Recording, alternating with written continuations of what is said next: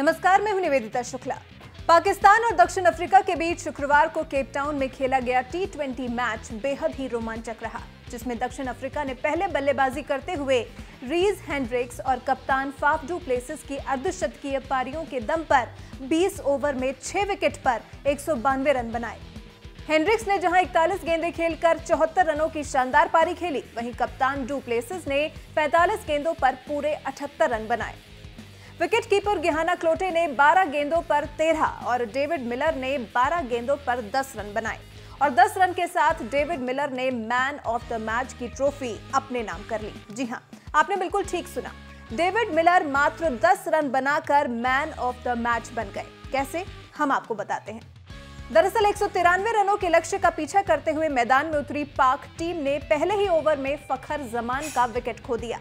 जो कि हेनरिक्स का शिकार बने, जिनके बाद बाबर आज़म और हुसैन तलत ने पारी को संभालने की कोशिश तो की, लेकिन क्रिस मॉरिस और तबरेज शमसी ने मिलकर तिरानवे के स्कोर तक दोनों बल्लेबाजों को पवेलियन लौटा दिया, जिसमें बाबर आज़म को मिलर ने डायरेक्ट थ्रो कर रन आउट किया।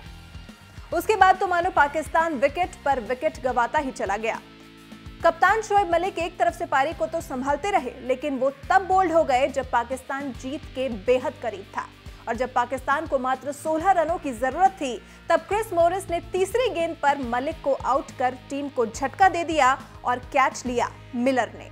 चौथी गेंद पर शादाब खान ने चौका तो जड़ा, लेकिन पूरे ओवर में मिलाकर मात्र नौ रन ही आए और मात्र छह रन के अंतर से पाकिस्तान मैच गवा बैठा।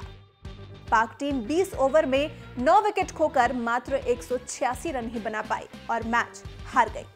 डेविड मिलर ने जहाँ शोएब मलिक का कैच लिया, वहीं बाबर आज़म को डायरेक्ट थ्रो से रन आउट किया। इन दोनों के अलावा आसिफ अली, इमाद वसीम और हसन अली के कैच भी डेविड मिलर ने ही लिए। साथ ही मोहम्मद रिजवान को भी अपने डायरेक्ट थ्रो से मिलर ने ही पवेलियन लौटाया। जिसके बाद बिना बॉलिंग और 12 गेंदों में 10 रन बनाकर मात्र अपनी फील्डिंग के बल पर डेविड मिलर ने मैन ऑफ़ द मैच की ट्रॉफी अपने नाम कर ली। मिलर से पहले फील्डिंग के ज़रिए क्रिकेट जगत में अपनी पहचान बनाने वाले साउथ अफ्रीका के क्रिकेटर जॉन्टी रोड्स ने साल उन्नीस सौ तिरानवे में मुंबई के ब्रेबॉन स्टेडियम में जब साउथ अफ्रीका और वेस्टइंडीज के बीच मैच खेला जा रहा था, तब प्लेइंग 11 का हिस्सा नहीं होने के बाद भी टीम के रक्षक की भूमिका निभाई थी। फील्डिंग के दौरान अफ्रीका के डेरेल कलिनन को गंभीर चोट आ गई थी। ऐसे में डेरेल की जगह जोंटी को फील्डिंग का मौका दिया गया था। फिर क्या? जोंटी ने अपने फैंस को वो नज़ारा दिखा दिया जिसकी किसी ने भी उम्मीद नहीं की थी।